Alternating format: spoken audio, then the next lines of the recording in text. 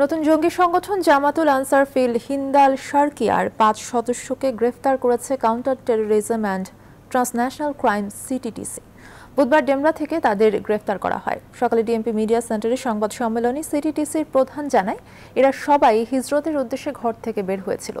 পাহাড়ি সন্ত্রাসী দল কুকি চীন নেতা নাথান বোমের সাথে এক হয়ে নতুন এই জঙ্গি সংগঠনটি পাহাড়ে ক্যাম্প তৈরি করে এবং প্রশিক্ষণ দেবার কাজটি শুরু করে। সিটিটিসি থেকে জানানো হয়, একুশে অগস্ট গ্রেনেড হামলা, মামলার মৃত্যুদণ্ডপ্রাপ্ত আসামিদের পরিকল্পনায় বাংলাদেশ জামাতুল আনসারফিল হিন্দাল সার্কিয়ার সংগঠিত হতে থাকে। এই সংগঠনের মূল মাস্টারমাইন্ড শামীম মাহফুজ। তিনি বর্তমানে দেশেই রয়েছেন বলে জানিয়ে তাকে গ্রেপ্তারের অভিযান চলছে বলে জানানো হয়।